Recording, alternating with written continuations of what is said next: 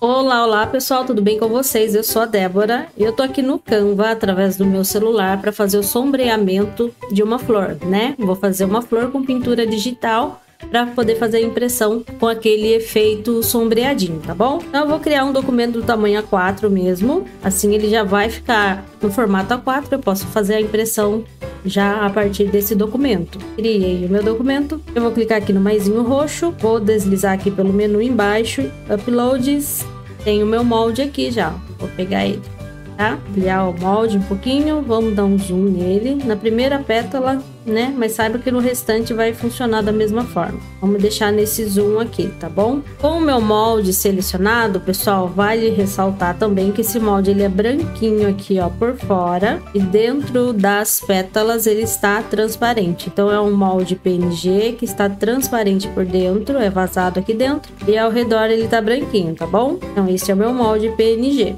Para adicionar o efeito de sombra, eu clico aqui embaixo no menu Efeitos. Clico nele eu já vou conseguir deslizar aqui pelos efeitos e encontrar essa opção de sombra, tá bom? Mas se você acessar o aplicativo aí e estiver nesta opção aqui, ó, ao invés de estar escrito efeitos, tem um F e um X e está escrito efeito embaixo. Quando eu clico nele, abre um menu um pouco diferente, né? Está separado aqui por, por ferramentas, né? ferramentas e depois os efeitos.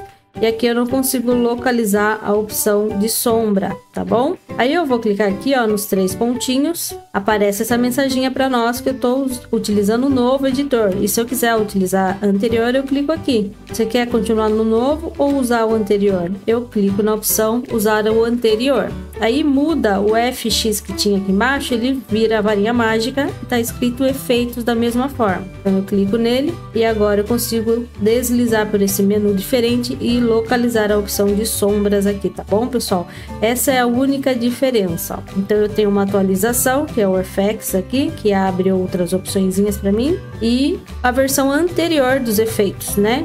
Ele está organizado dessa forma. Então veja aí qual a opção que está listado aí no seu aplicativo para você acessar a versão anterior, porque daí aqui tem as sombras, tá bom? Então clica nas sombras, escolhe a opção brilhante, clica de novo, abre essa janelinha aqui para configurar as numerações, né? Aí aqui você pode definir o tamanho, a a transparência, né? O desfoque que tá ficando. Eu vou trocar essa cor de preto, vou clicar aqui nas misturas de cor e vou escolher um rosinha ao invés de preto. Vamos deixar um tom de rosa aqui, ó, mais escuro, assim. E eu posso utilizar o código, tá bom, pessoal? Se eu quiser navegar entre essa, esse mesmo padrão de cores, copie esse código aqui para você utilizar depois. Então eu volto, volto mais uma vez. Tá tudo ok essa configuração que eu fiz aqui? Então clique em pronto. Aí ele aplicou já o efeito aqui nas minhas pétalas, tá bom, pessoal? Eu já tenho esse efeito sombreado da minha pétala, tá bom?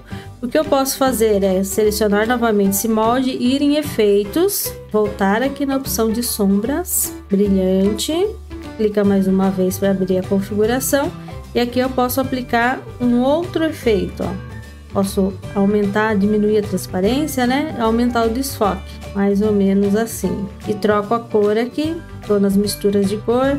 Agora eu tenho um código, caso eu queira colocar ele aqui, para puxar a mesma tonalidade só que eu vou deixar mais pro rosa claro. E volto, deixo nessa tonalidade mais ou menos, volto e aqui eu posso desfocar mais, deixar menos desfocado, né? Mexer com a transparência. É legal deixar um pouquinho branquinho para ele pegar a tonalidade do seu papel no momento da impressão, né? Você pode fazer impressão no papel branquinho, tudo bem, vai funcionar, tá bom, pessoal?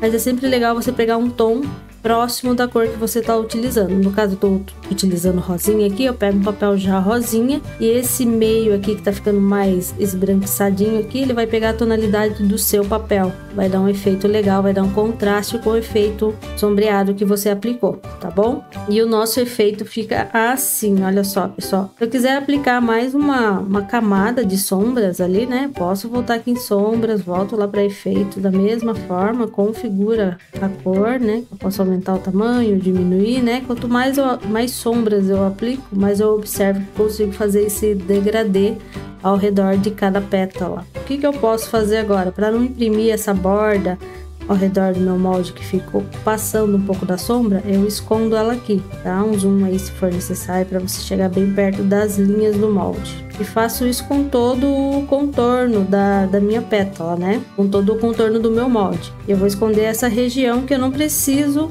utilizar para fazer impressão, né? Dessa forma, de forma bem simples aqui, através do Canva. E ficará assim o nosso efeito sombreado na pétala. Depois é só imprimir, fazer o recorte e a montagem dela, né? O que eu havia comentado também com vocês é que dá para utilizar e a opção de desenho. Olha, no menu aqui embaixo, a opção desenho, tem o pincel, o marcador ali translúcido e tal.